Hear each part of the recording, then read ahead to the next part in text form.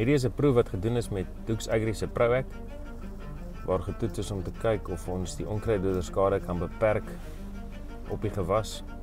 Dit is Diflan en Wrestler wat hier gespuit is. Soos julle sien hier van die middel af na die regterkant toe is Proact bygevoeg en dit het uitstekende effek gehad van spesifiek die beperking van onkruiddoder skade. Dit sal dan ook 'n bydrae hê tot jou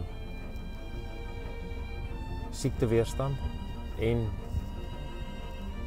ons kan sien dat projek dan nou kan gebruik word in alle gewasse om jou onkruiddoder skade te beperk.